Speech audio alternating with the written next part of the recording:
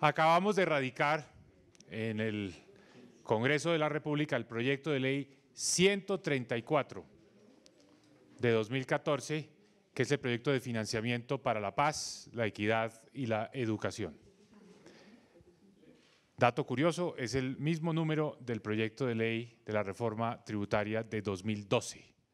Es el proyecto de ley 134 de Cámara. Es un proyecto que va a dar su primer debate en las comisiones económicas conjuntas, las cuatro comisiones, terceras y cuartas de Cámara y Senado. ¿Por qué tendrá ese trámite? Porque es un proyecto que tiene como propósito inicial buscar el financiamiento complementario del presupuesto general de la Nación para el año 2015. Tendrá también un impacto sobre la tributación en los años siguientes, pero el punto de entrada es el financiamiento del presupuesto general de la Nación del próximo año. Y dada la norma constitucional, su trámite debe ser en las comisiones económicas conjuntas. Por eso fue radicado de esa manera. Este proyecto de ley, ante todo, busca que Colombia, que es hoy la primera economía de América Latina, la que más crece, la que más empleo está generando, donde más ha caído la pobreza, siga teniendo el liderazgo en nuestra región. Nosotros queremos seguir siendo número uno en América Latina. Saben ustedes que la semana entrante serán las reuniones anuales del Banco Mundial, del Fondo Monetario. Se ha citado una asamblea del Banco Interamericano de Desarrollo y tendremos también la cumbre de ministros de Hacienda de todo el continente convocada por Colombia. En esas reuniones saldrá a flote una y otra vez el nombre de Colombia, como el país que ha logrado los mejores resultados, como el país que hoy es ejemplo en manejo, manejo económico en América Latina. Y tenemos que seguir siendo, número uno, tenemos que seguir siendo el país que da que hablar, tenemos que seguir siendo ese país admirado, ese país reconocido en materia económica. Por eso necesitamos este proyecto de ley. Porque este proyecto de ley nos va a permitir asegurar los ingresos con los que Colombia va a poder mantener un ritmo de inversión alto. Una inversión que se traduce en más carreteras, en más escuelas, en más hospitales y sobre todo en más personas recibiendo beneficios del gobierno. Desde la primera infancia hasta el adulto mayor, más colombianos recibiendo apoyo del gobierno. Los recursos que estamos proponiéndole al Congreso de la República se necesitan entonces para seguir a la vanguardia en materia de inversión social y de inversión en infraestructura. Ese es el propósito de ese proyecto de ley. Ese proyecto también busca algo muy importante, mantener la confianza de los hogares, de los empresarios, de los inversionistas. Lo que hace la gran diferencia en Colombia en este momento en materia económica es el optimismo. Es que vemos el futuro positivamente. Este proyecto de ley tiene como primer requisito el asegurar esa confianza. También queremos con el proyecto de ley buscar el avance en los objetivos que se ha trazado el gobierno y muy especialmente en la equidad. Este proyecto de ley no afecta a la clase media colombiana, no afecta a la pyme, no la toca. A los sectores que viven en condición de pobreza los beneficia porque asegura más recursos para su bienestar. Es un proyecto de ley estructurado alrededor del objetivo de equidad. No toca a la clase media y no toca a la pyme, a la pequeña y mediana empresa. Es un proyecto de ley en el que el enfoque, la búsqueda de los recursos, el compromiso lo estamos buscando en las empresas, no en las personas. El énfasis es la tributación a las empresas. Las personas están haciendo ya un esfuerzo, están pagando sus impuestos están en, medio de, eh, de este auge económico del país, están contribuyendo con el imán, que fue el impuesto que adoptamos en el año 2012. Por eso este proyecto de ley se enfoca esencialmente en las empresas, excluyendo la pyme, la pequeña y mediana empresa del país. De manera que esas son las premisas sobre las que tenemos construido este proyecto. ¿Qué es lo que buscamos? Hoy Colombia tiene un nivel de tributación equivalente al 17% del Producto Interno Bruto. Ahí hemos llegado en el 2014.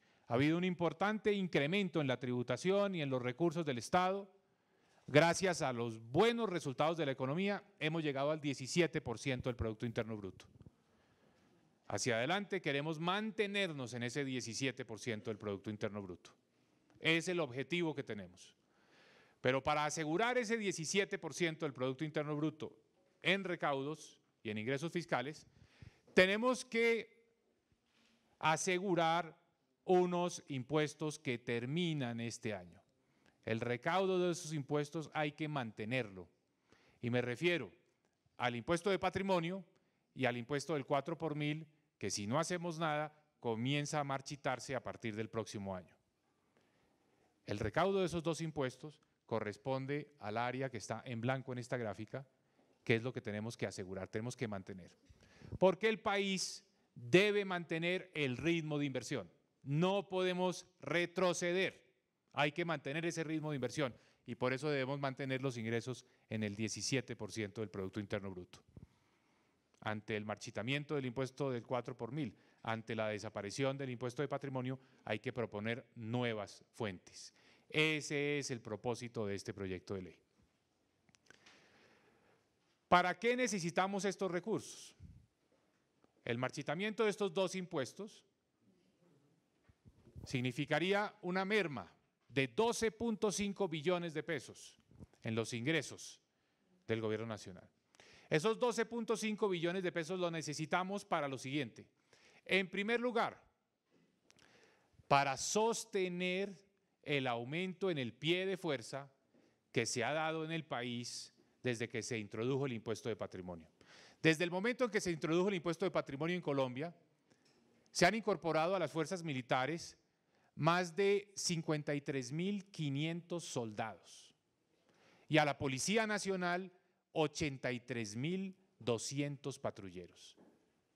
Es decir, 53.500 soldados, 83.200 patrulleros que dan seguridad en Colombia.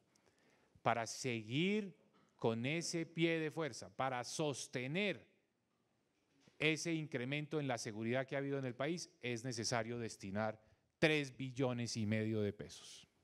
Solamente para el pago de la nómina de los efectivos que se han incorporado a las fuerzas militares y a la Policía Nacional desde que se introdujo el impuesto de patrimonio. El año pasado, el país fue testigo de un gran debate alrededor de la necesidad de apoyar a la familia campesina.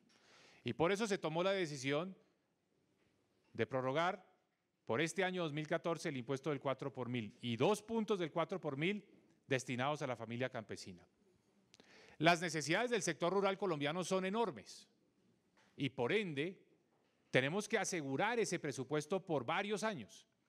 De manera que los 3,4 billones de pesos de apoyo a la familia campesina los tenemos que mantener.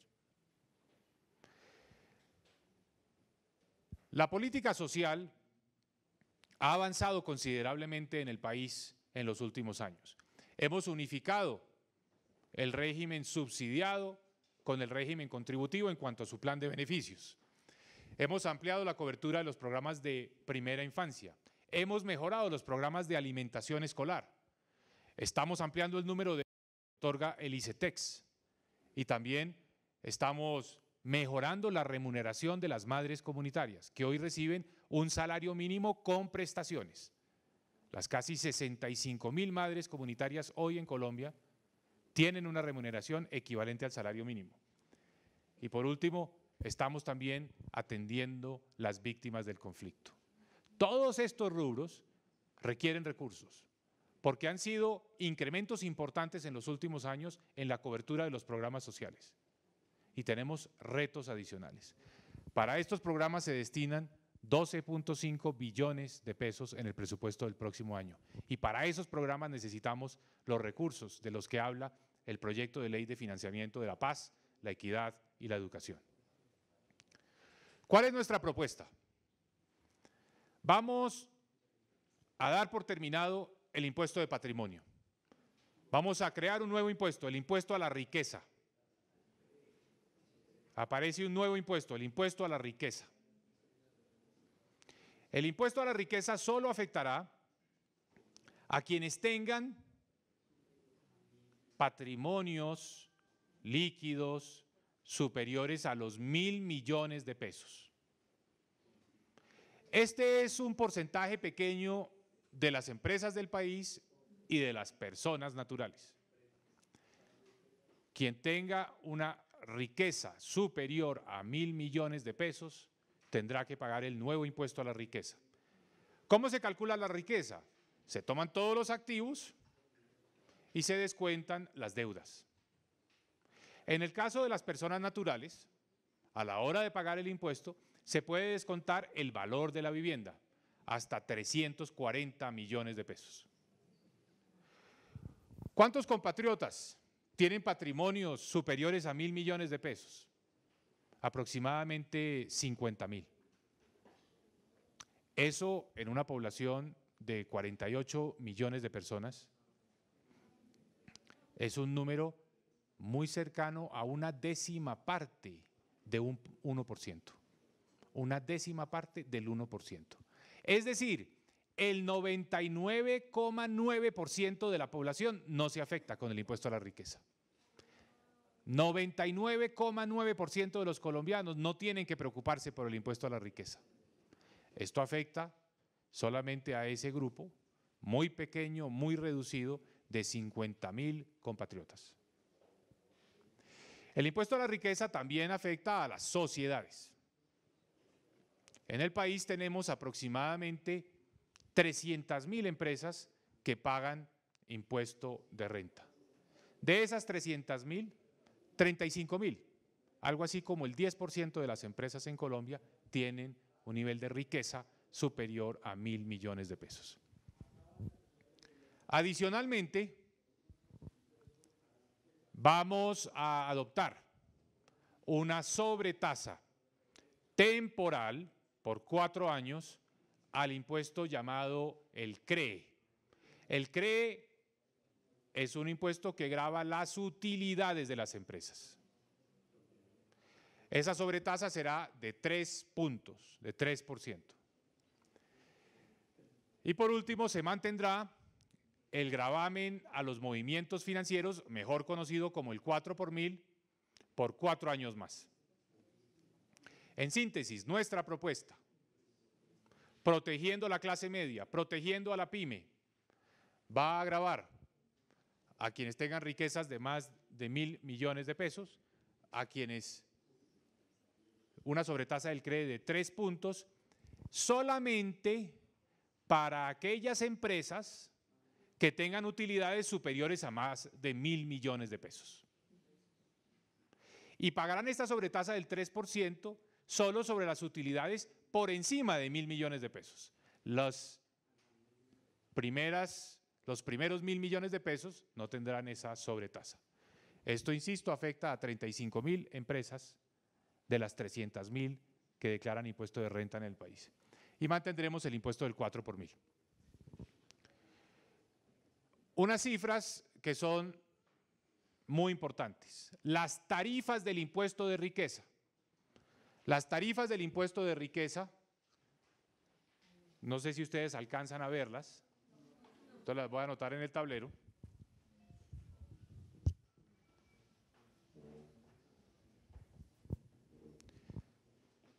Están definidas de la siguiente manera.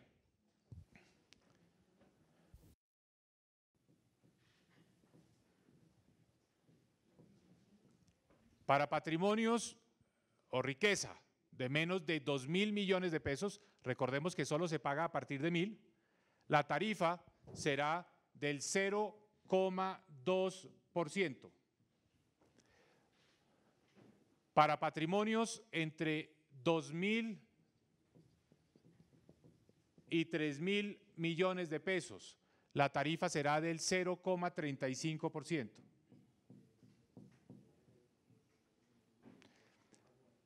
Para patrimonios entre 3.000 y 5.000 millones de pesos, la tarifa será del 0,75%. Y para patrimonios superiores a 5 mil millones de pesos, la tarifa será del 1,5%. Esas tarifas conservan la estructura actual, la estructura vigente. Pero tienen una diferencia muy importante a favor del contribuyente. Y es que las tarifas se calculan con un criterio que le permite al contribuyente pagar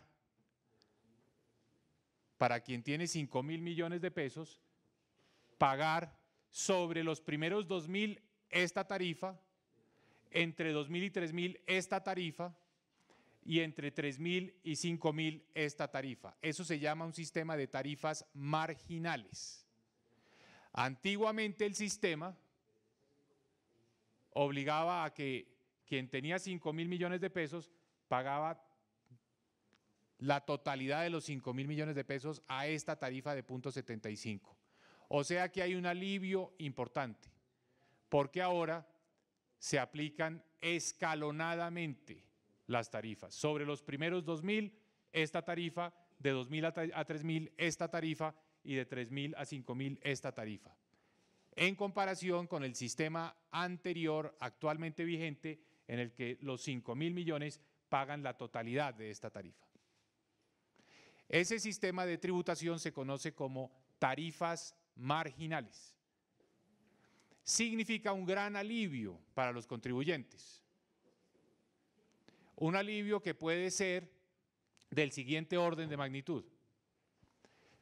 Para quien tenga un patrimonio de 3.500 millones de pesos o una riqueza de 3.500 millones de pesos, hoy eso significa un pago de impuesto de patrimonio de 26 millones.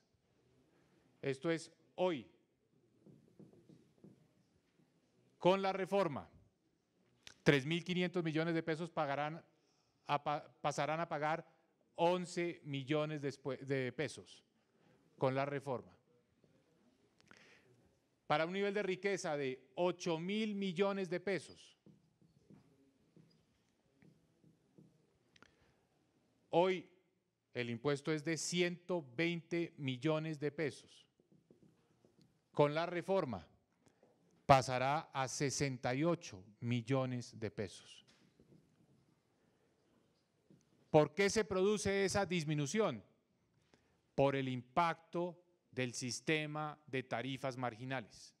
Porque quien tenga 8 mil millones de pesos venía pagando una tarifa del 1,5%. Ahora pagará sobre los primeros 2.000.2%, sobre los siguientes 1.000.35%, sobre los siguientes 2.000.75% y la tarifa plena solamente para el excedente por encima de 5 mil millones de pesos.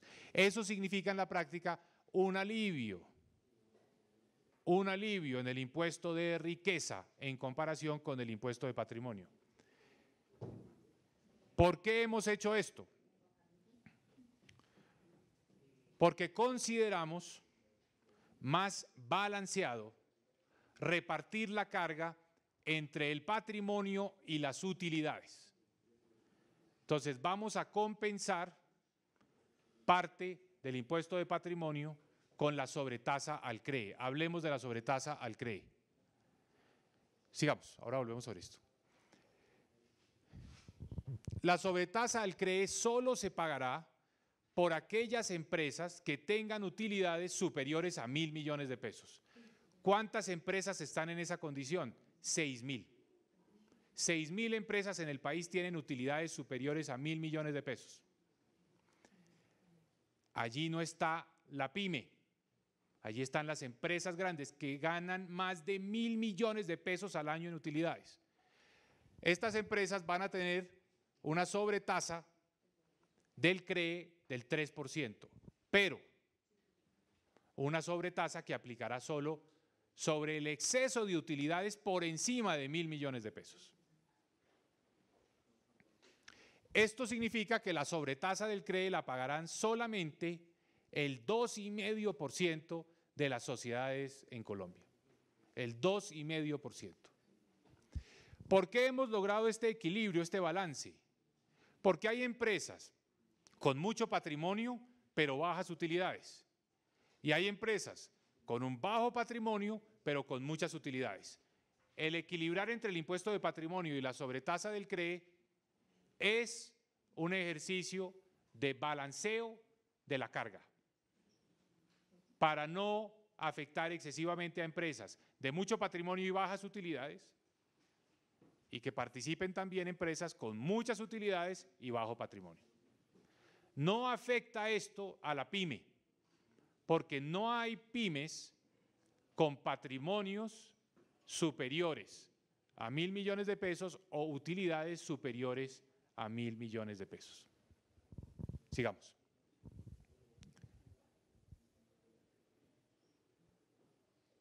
Volvamos a la sobretasa. La reforma de 2012, la ley 1607, estableció el impuesto al CRE de un punto adicional, el noveno punto del CRE, temporal, por tres años, los años grabables 2013, 14 y 15. Y estableció una asignación de esos recursos. Este proyecto de ley, buscando mejorar la situación de las instituciones de educación superior pública, universidades públicas e institutos técnicos y tecnológicos de carácter público, va a mantener de manera permanente el noveno punto del CRE y le destinará a esas instituciones el 50% del recaudo. Con esto están recibiendo por primera vez en la historia aportes del presupuesto nacional una gran cantidad de universidades y de institutos técnicos y tecnológicos en el país que están mejorando su infraestructura, que están haciendo inversiones para tener más cupos, para tener más capacidad de ofrecer educación superior de calidad. Este noveno punto del CRE, que se estableció temporalmente para los años 13, 14 y 15, al volverse permanente se destinará en un 50% a los programas de atención integral a la primera infancia, para lograr el objetivo de la cobertura universal del programa de cero a siempre. El país necesita hacer unas grandes inversiones con una enorme rentabilidad social en la primera infancia, niños menores a cinco años, donde estamos viendo unos excelentes resultados de estas intervenciones. 50% del recaudo del CRE destinado a la primera infancia. La reforma propuesta también busca eliminar una devolución que ha venido operando en el país desde hace 10 años, pero que ya cumplió su papel, la devolución del IVA de dos puntos del IVA a las compras con tarjetas de crédito. Esa devolución representa en promedio para cada tarjeta viente cerca de 30 mil pesos al año. Ayudó a la bancarización, pero tenemos que recordar que primero ya se ha logrado un incremento muy importante en la profundización financiera. 72% de los adultos de Colombia tienen cuentas corrientes. Y acaba de aprobar el Congreso de la República el proyecto de ley de inclusión financiera para abaratar el uso de medios de pago digitales por parte de toda la población. Creemos que con la ampliación en la profundización financiera y con la inclusión financiera que se acaba de aprobar en el Congreso de la República, no se hace ya necesaria la devolución de esos dos puntos del IVA. Eso nos va a permitir al mismo tiempo destinar una gran cantidad de recursos dentro de la DIAN, no a tramitar esas engorrosas devoluciones, sino a perseguir la evasión. Por eso creemos que llegó el momento de terminar ese programa de devolución de dos puntos del IVA y dar paso a una estrategia más ambiciosa de reducción de la evasión tributaria en el país. Esta reforma se propone por cuatro años para asegurar los recursos que necesita el país de forma tal que pueda mantener la tributación en el 17% del Producto Interno Bruto y pueda sostener el presupuesto de inversión. Porque esa inversión es la que nos va a permitir ir ampliando los beneficios de los programas sociales e ir avanzando en la construcción de infraestructura. Esos recursos están tasados en 12.5 billones de pesos en el año 2015, 13 billones en el 2016, 13 billones y medio en el 2017 y 14 billones en el 2018. Cada impuesto con su estimado en términos de los recursos que aportará. El impuesto a la riqueza, 6 billones de pesos. El impuesto eh, a la riqueza de las personas naturales, 200 mil millones de pesos. La sobretasa del CRE a las empresas con utilidades por encima de mil millones de pesos daría 2 billones y medio de pesos. La eliminación de la devolución del IVA a las compras con tarjetas de crédito, 400 mil millones de pesos y la prórroga del 4 por mil, 3 billones 400 mil millones de pesos. Muchas personas se preguntan, si estamos proponiendo el nuevo impuesto a la riqueza, la sobretasa del CRE para las empresas con altas utilidades, ¿qué esfuerzo está haciendo el gobierno? El primer elemento es el plan de austeridad. Un billón de pesos en ahorros, en gastos de funcionamiento a partir del año 2015. Durante los cuatro años de gobierno, 4 billones de pesos en ahorros en funcionamiento.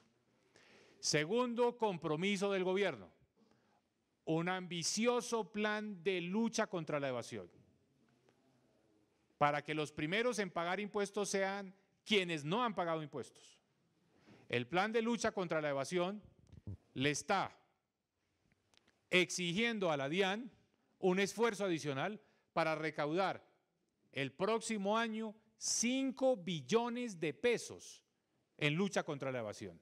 Es decir, 20 billones de pesos durante los próximos cuatro años. De manera que el esfuerzo es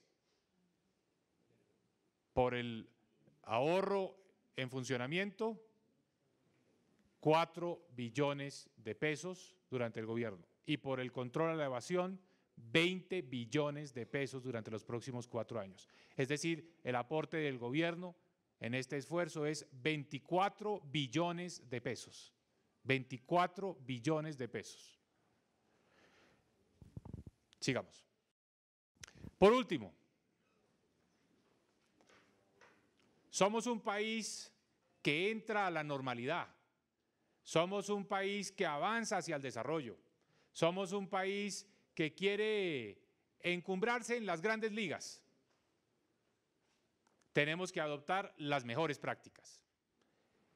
Y la práctica internacional es que quien está obligado a pagar impuestos en Colombia, es decir, quien vive en el país más de seis meses al año, tiene que declarar en Colombia sus ingresos y sus activos globales.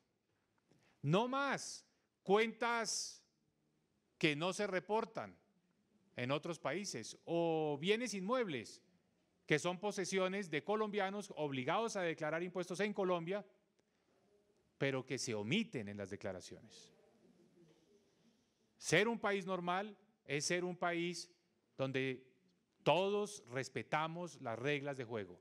Quien es contribuyente, quien es responsable de pagar impuestos en Colombia porque vive más de seis meses al año en nuestro país, está obligado a declarar en sus ingresos y en sus activos la totalidad de sus posesiones. No puede dejar de lado e ignorar y omitir los que tenga por fuera del país.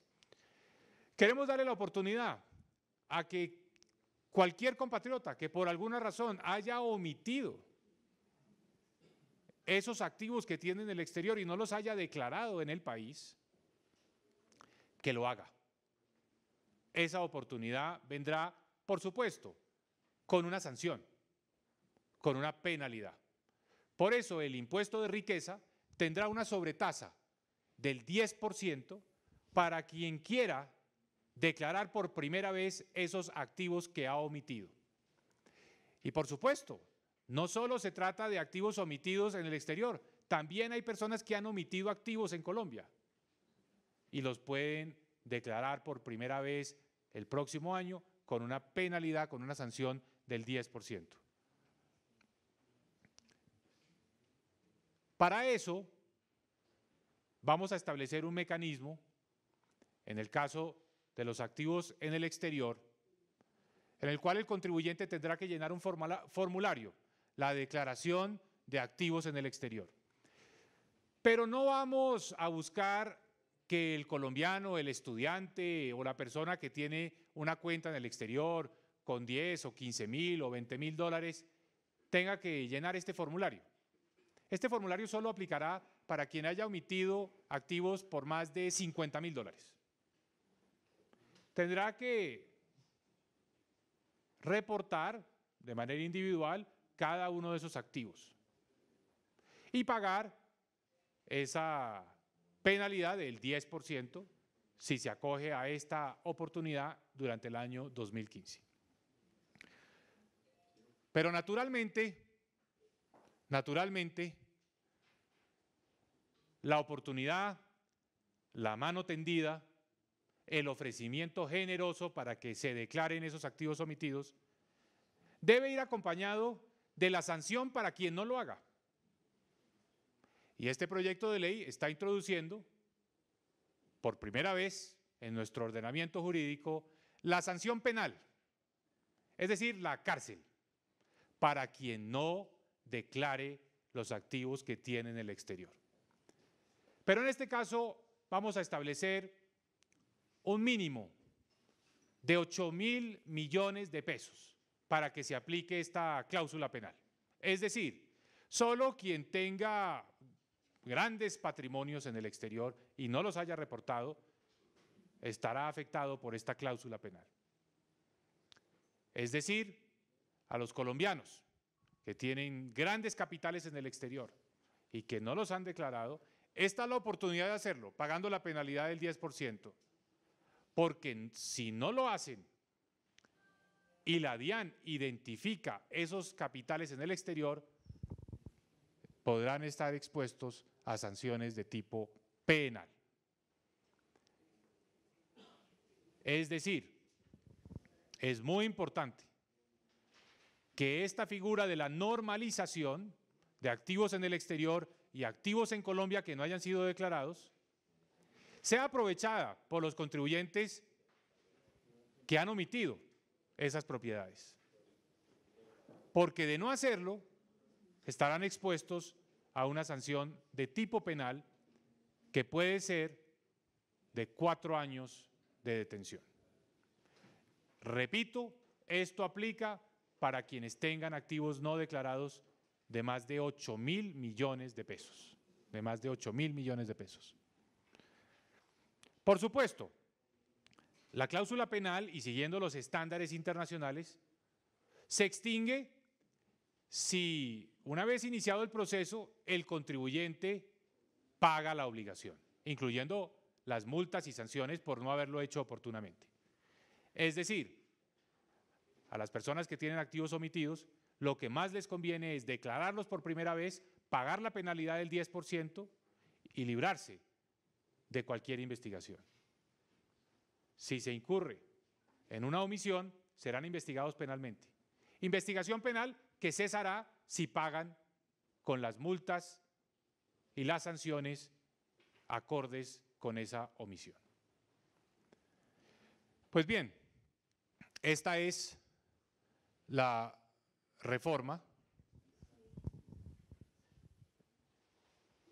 Esta posibilidad de normalizar no implica que quien tenga activos en el exterior producto del narcotráfico o del lavado de activos, los vaya a legalizar de esta manera.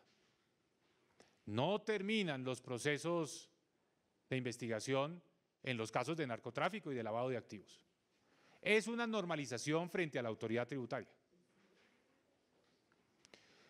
Por último, muchos colombianos se preguntan por las rentas exentas. ¿Por qué no eliminar exenciones antes de incrementar los impuestos? Y es una pregunta válida, porque es necesario hacer un repaso, un recorrido por las rentas exentas que existen en el país. El primer capítulo de las rentas exentas nos beneficia a las personas naturales, a todos los contribuyentes del impuesto de renta, que podemos deducir los pagos de salud, los aportes a pensiones y que tenemos un porcentaje de nuestro ingreso exento. Eso protege a la clase media colombiana y no es la intención del gobierno modificar esas rentas exentas. Hay otras rentas exentas que se han dado a lo largo de los años para estimular ciertos sectores de la economía. Por ejemplo, el sector de la hotelería o la industria editorial, para que el país tenga un mayor hábito de lectura, para que haya más impresión de libros, o las actividades de investigación en ciencia y tecnología que hacen las propias empresas. También han sido declaradas rentas exentas una serie de ingresos asociados al financiamiento y la inversión en vivienda de interés social. Son rentas exentas que juegan un papel y que en todos casos tienen una fecha de terminación. Sin embargo, hay un capítulo de las rentas exentas que genera gran preocupación en el país y es el relacionado con las entidades sin ánimo de lucro. Conocemos muchas entidades sin ánimo de lucro que son fieles a su misión y que cumplen un propósito eminentemente social. Una gran cantidad de universidades, de hospitales, de organizaciones no gubernamentales que se dedican a apoyar a los colombianos más vulnerables. Pero también sabemos que de esa figura se ha abusado y que hay muchas entidades sin ánimo de lucro que se han creado con la única finalidad de evadir impuestos.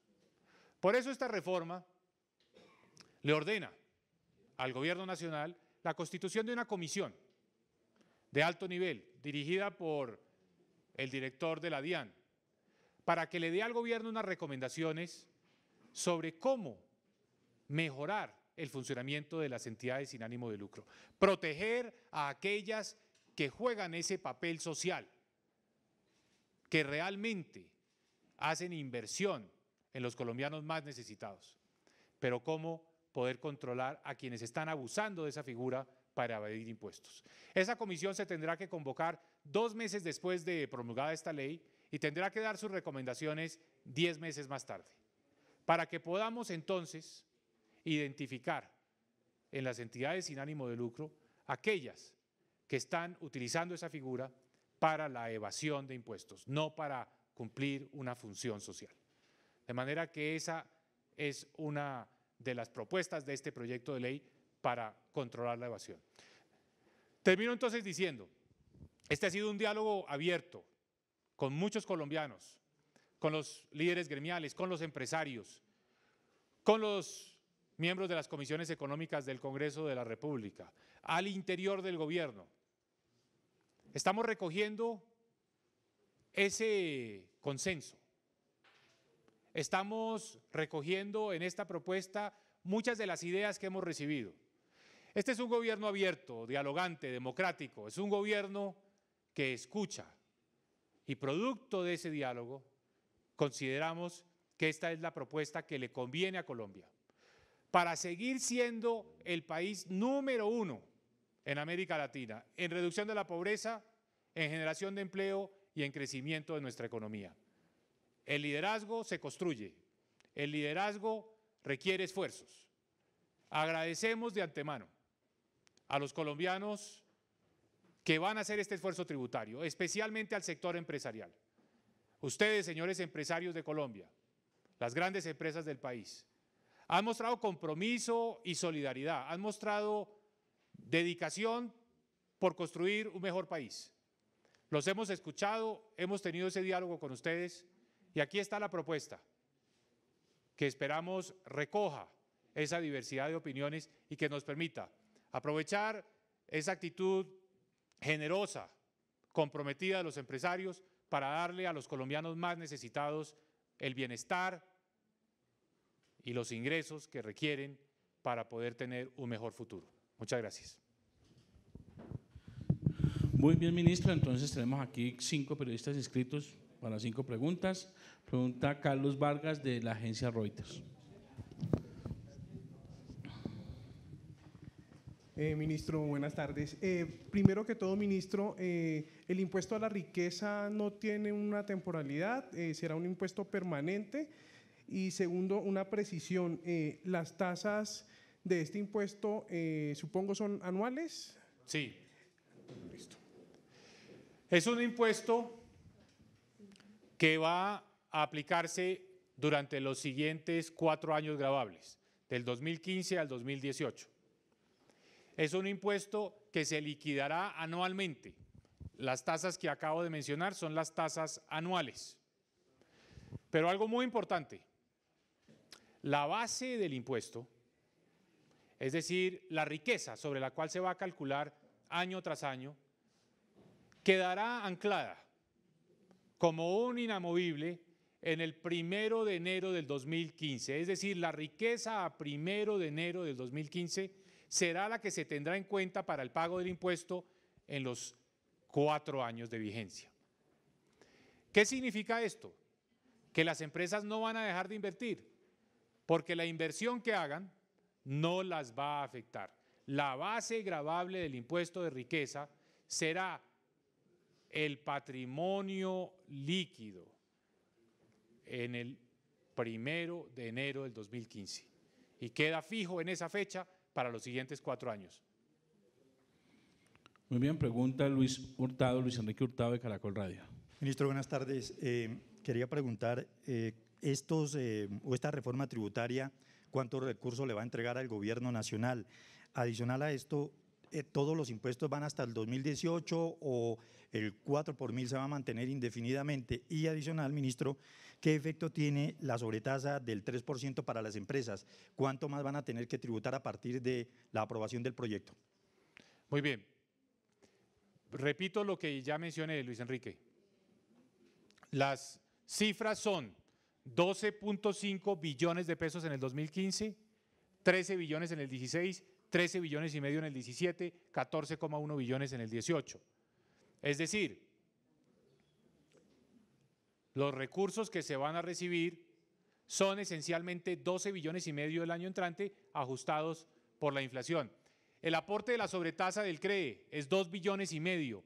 Insisto, es solo para las empresas con utilidades superiores a mil millones de pesos.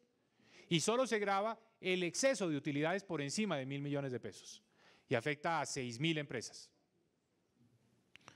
Muy bien, pregunta Luis Segundo Gámez de RCN Televisión. Gracias, eh, John Jairo. Es que creo que quedó una pregunta sin responder de Luis Enrique. La del 4 por mil si va a ser permanente o solo por los cuatro, años.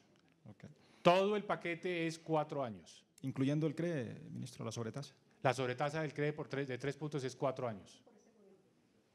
Eh, ministro, la primera, Dado que los empresarios, el Consejo Gremial había solicitado al gobierno que creara una comisión que estudiara una reforma tributaria durante seis meses para que esa reforma fuera permanente y no hubiera otra reforma durante los próximos cuatro años, ¿usted garantiza que no habrá más reformas, pase lo que pase en estos próximos cuatro años? Me refiero a una reforma tributaria.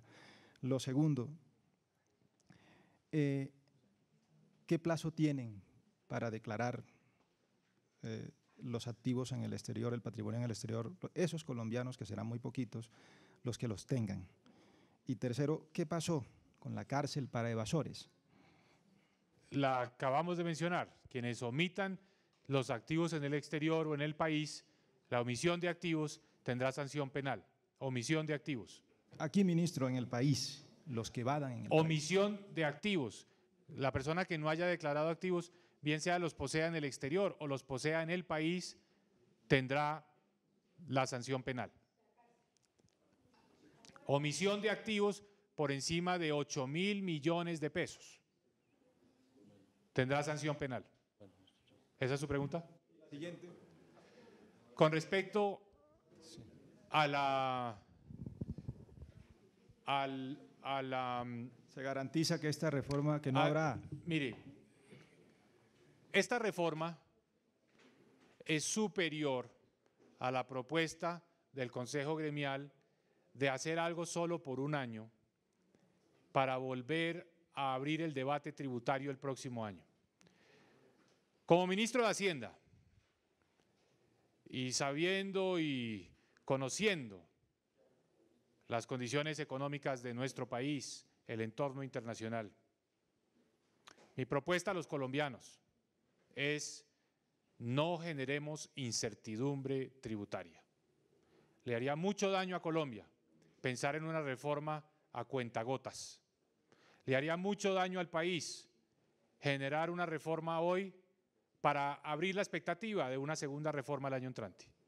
Estos son los recursos que necesita el país para cumplir con estos objetivos que hemos trazado.